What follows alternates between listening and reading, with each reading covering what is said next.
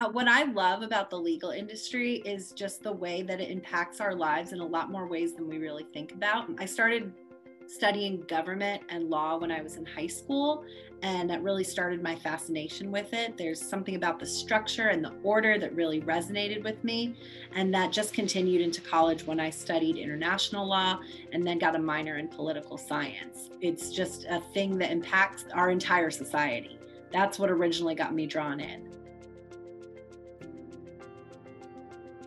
My experience with the trial court administrator's office was absolutely incredible. In that job, I discovered the wonderful world of alternative dispute um, and how much it takes a burden off the court system, how much more impactful it is to people to be able to have a say in how their cases handled and how it is resolved. I did district court arbitration and I did superior court mediation, and the amount of cases that were resolved that way was incredible and the feedback I would get from from parties, from attorneys, from mediators, everyone was that this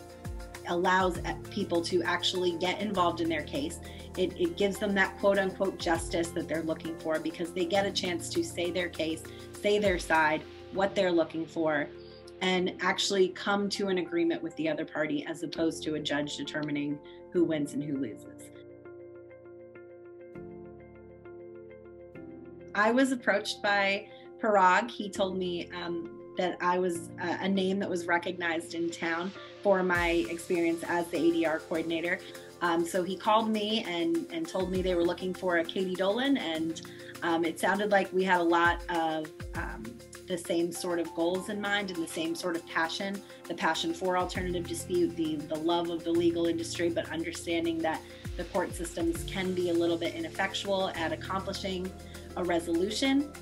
and he told me you know kind of what they had they had planned and i had some ideas about how we could actually involve my skills my knowledge from the court system with everything they already had in place and it was it was the right fit and i'm i'm really excited to join the team and see what we can do together